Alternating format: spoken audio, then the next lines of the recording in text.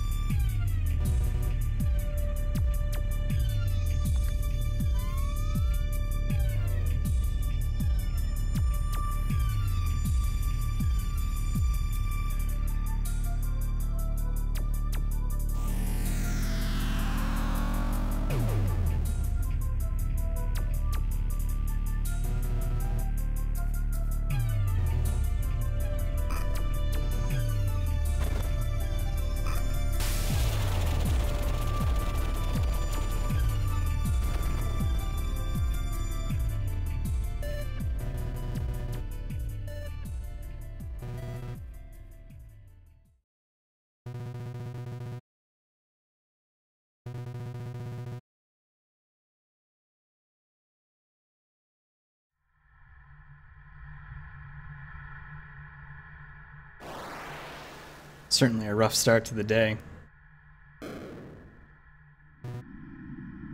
Calling out to Trace, that's us. Wake up, Trace. What happened? Trace, there is a gun in the next room. Must get it. What's going on? Where are you? Hello? Where am I? Here we are. Make sure that I actually have a save here. So it's controls, I mean, it's very, very Metroid. Um, I'm playing with the PS4 controller on my PC. And got a map, weapons and upgrades, notes. More of those come along as we see. Also, I love these blocks. They're very uh, Norfair to me, an original Metroid.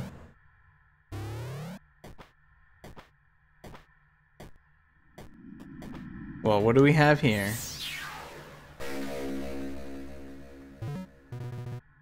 The Axiom Disruptor, high-tech biome biomechanoid weapon. Is this the gun that the lady mentioned, or I just imagine her? Sorry, I'm very weak. You must go now before he finds you. Or who finds me? What's going on? Guess she's gone again. So here we are, here's our gun, it's our main weapon. Uh, we will get many, many weapons throughout the game.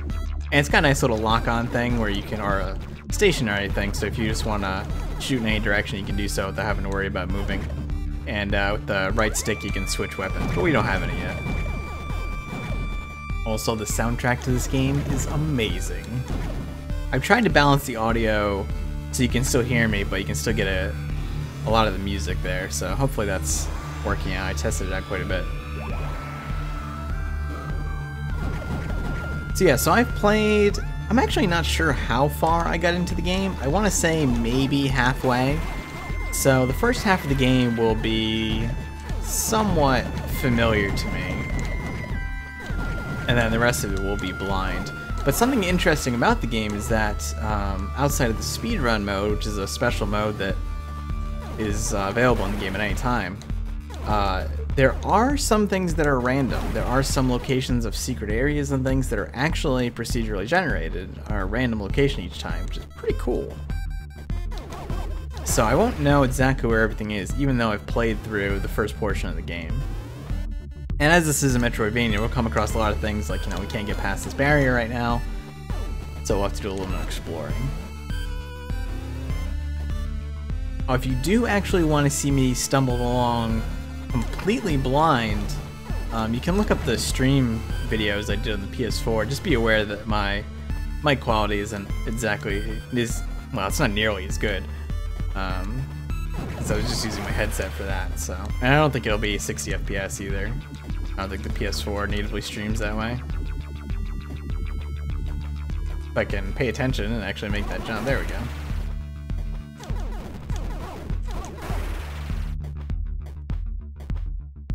There's another one of those barriers, which we can open with switches. However, we don't have any means of accessing that switch, so we've got a, like a spore spawner type thing here. Uh, knowing what knowing what I know of a couple of the things that come later, and uh, very eager to get back to that point.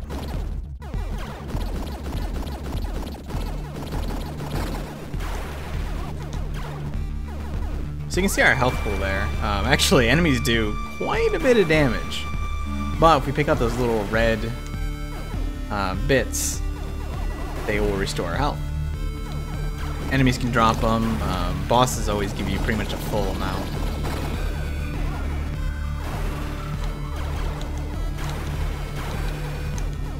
There we go, there's a little more. I could go up there, and I might as well. I don't think I can travel up there. Like I said, I mean, it's been a little while since I first played.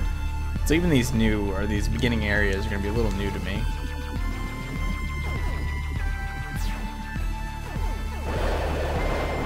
Much more aggressive enemy here. I don't know what these guys are.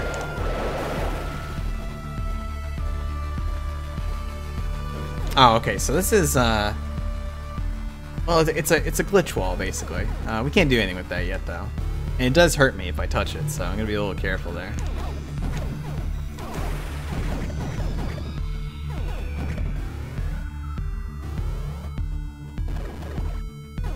I want to keep my distance on uh, on these guys for now. They don't have a lot of health. We will increase our health bar at some point, but not quite there yet.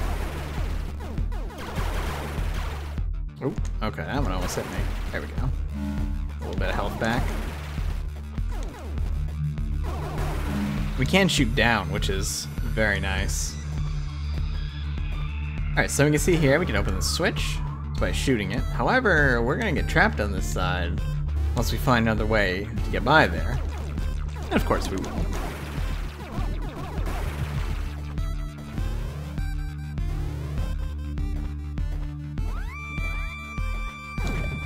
And in this capsule we find our first new weapon. Alright. So we got the Axiom Disruptor and the Nova. I'm gonna assign these to my quick slots. There we go, yeah. So the Nova fires a uh, an energy ball that we can detonate at any time. And gives kind of a spread pattern. As a weapon, I don't find it to be that good. However, it is very useful for doing stuff like this we can send a, a, ball up there and then detonate it and open those switches. So now you can know there's certainly some areas where we can go back to now. And it does okay damage. The spread is kind of nice for hitting stuff like this, but it's not the most damaging weapon for sure. You can see it's taking quite a bit of time to take this thing out. I'm actually kind of curious how many shots it is going to take to take it out. A lot. So this will be a primary uh, utility weapon for now, but it will get upgraded. Switch here.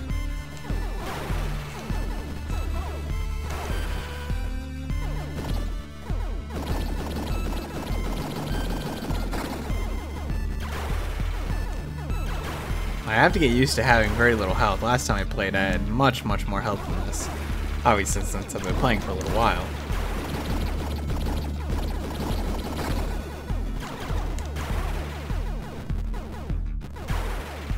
Get back in the groove, though.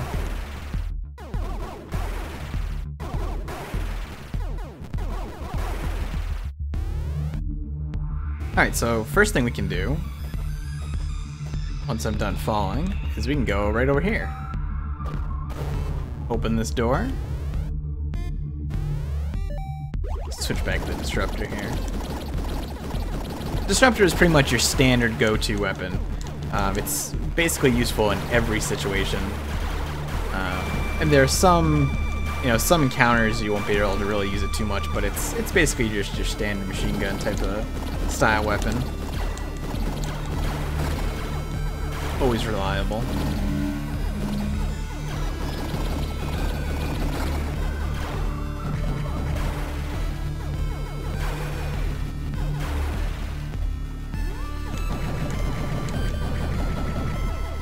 So I think there is something here. Yeah, there we go. Size Node, permanently increases projectile size for weapons, so you can see now we're firing bigger shots. Now, bigger shots don't necessarily mean more damage, it just means that you, you know, easier to hit things with, basically. More range, in a sense, and we can't go up there yet. So we'll fall all the way back down.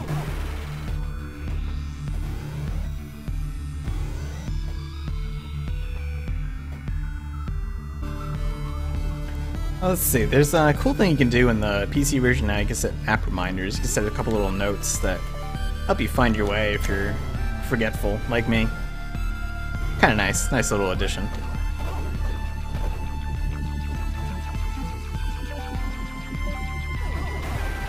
There's an enemy hiding here. Yeah. Makes a hell of a sound. So you'll be a little, uh... You can usually tell where they are by their claws, and they will jump out at you. Can't really do much with them right now, but we'll be able to later. Here's how the save room.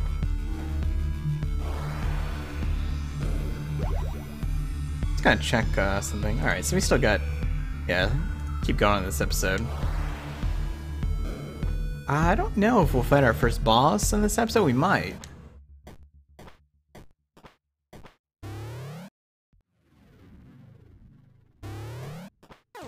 Yeah. This is usually a sign that there is a boss coming.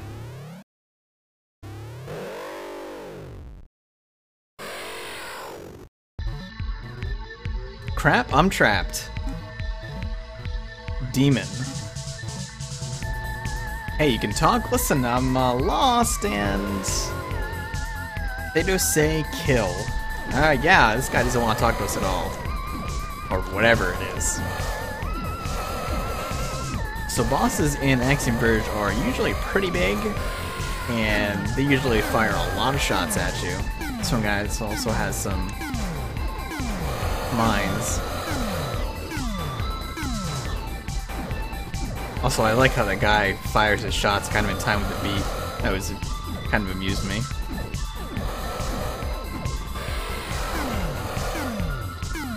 Now he's not. Now he's firing pretty fast. You can see he's starting to flash red though, so he's probably in pretty bad shape here.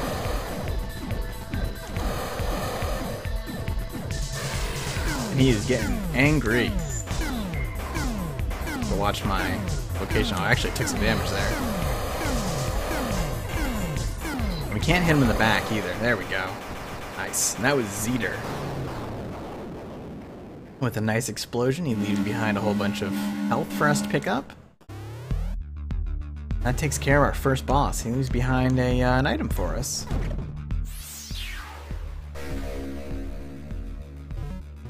A laser drill. High-powered drill capable of cutting through rock. Now this is an item that we always have equipped at any time. We can hit the right trigger and we can drill. Any blocks that look like this are drillable and sometimes others as well. When in doubt, drill it out, basically.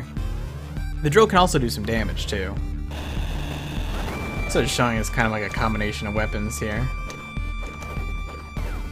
Oops. Oh, come on. There we go. So you see here the drill does some damage. And this is our little tutorial on that. Not all drillable blocks are very obvious. I think that's a health pickup. Nope, it's Power Node. Permanently increase weapon and item damage.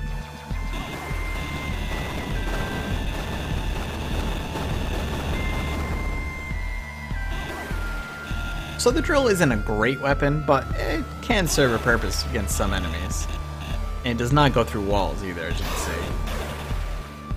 And it's pretty fun to use, plus it's always available. You don't ever have to switch to it or anything like that, so it's pretty nice.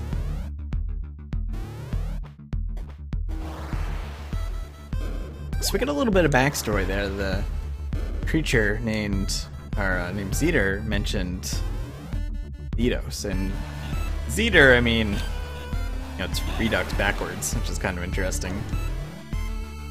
Alright, so there's a couple of places I can go now that I have this. Let's see. Um, I'm gonna try to go up first. A little less obvious place. It might have a power-up for us. I'm actually not entirely sure if I can even get there yet, but I'm gonna try. Drill out some of this space here. I think I'll be able to reach this platform, yeah.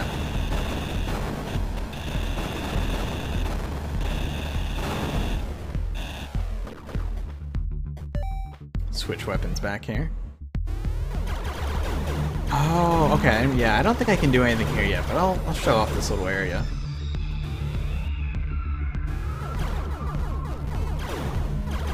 Have some kind of Space Invaders type enemies in here. They do explode when they die, too, so we're too close, we'll take damage. And of course, you know, I had to show that off, right? Something interesting, too, about the game is the way its save and respawn system work. If you die, you don't actually lose any progress. You just go back to the last save point um, with anything you've collected still. So you don't ever have to recollect items or anything like that. Awesome, awesome feature. We actually get another weapon in here. The Multi-Disruptor. Check this out, it fires three projectiles. Short range though, but it will fire three shots at once. And I think all three shots can hit a single enemy. Doesn't do as much damage as our primary Disruptor, as far as I know. But uh, definitely useful for taking out multiple enemies or just hitting close range stuff with a lot of shots.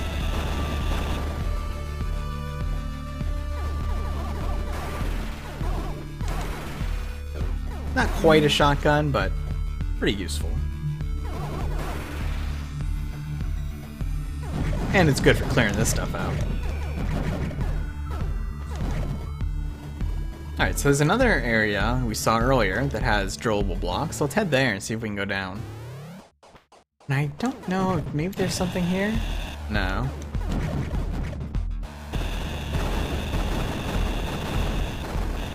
Alright, new area. And we see there's some of those wall guys hiding in there. And as long as we are on the same plane as them, they will continue to attack. Oh, I'm gonna die here. Well, this would be a good time to show that off. Alright, so I died. And I get popped back to my last save point.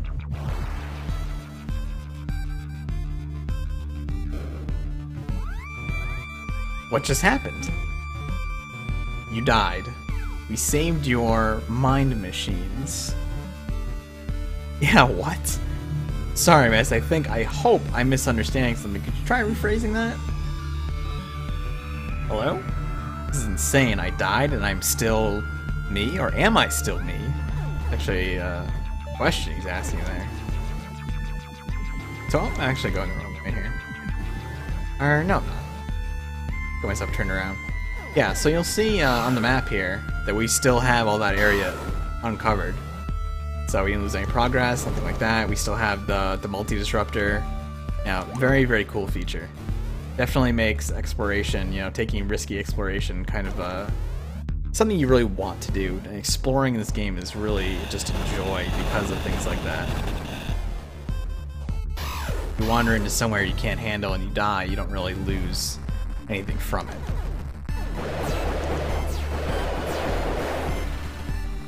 So this is one of those glitch areas. We can't do anything with that yet. And that will hurt me if I touch it, so I want to be careful there. There's another version of it. Now this isn't as corrupted, but we can't get through there either way. And that type doesn't uh, touch me or hurt me when I touch it. And you can hear this stuff actually makes a sound.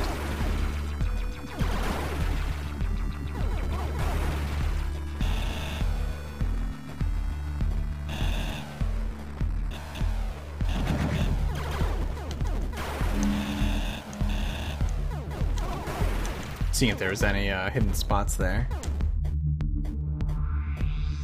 That looks like it might be a hidden spot. No, I guess not. See if I can get uh, anywhere over this way. And probably save next time. Oh, alright. Can't do anything in here yet either. Kind of a weird uh, background there too.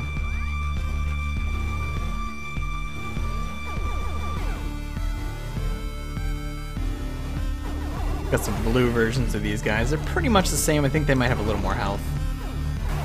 And you can see we got some those red versions of those dashing enemies here now. Uh, we can't jump high enough to do anything here yet, though.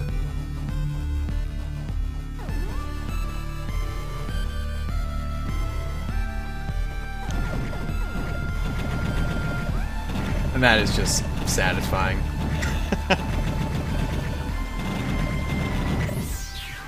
This might be a health upgrade. Yes, Health Node. Permanently increases health. There we go.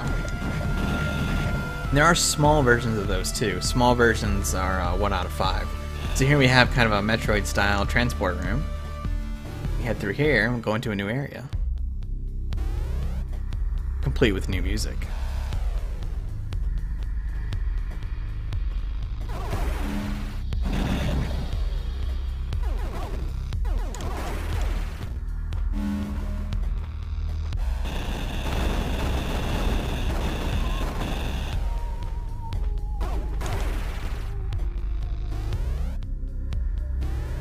And here we have a save room. So I'll pause here for now, and we'll continue into this new area next time. I'm curious, what's the name of this area? Absu. We were in uh, Iburu, I believe. Or Eribu, yeah. So we're in Absu now. Alright, that'll do for now. Thanks for watching. Hope you enjoyed the video. Look like if you did, helps out a lot. Um, I'll have a link to the game Steam page below if you want to pick it up for yourself instead of watching me play, but I hope you watch me too. And I'll see you soon.